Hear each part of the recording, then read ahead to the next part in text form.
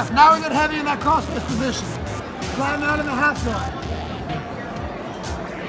Good. Good. Work your shoulder in there. Keep up the lockdown. One to two, Jake. Keep up. Watch that knee bar. Stay on top. There it is. Down around it. Grab on there. Push your feet. There you go. Take it, take it. You got it, you got it.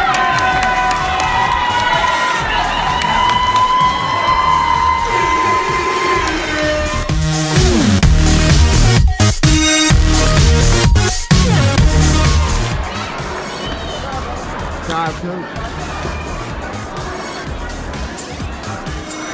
Ladies and gentlemen, your winner of this match with the knee bar,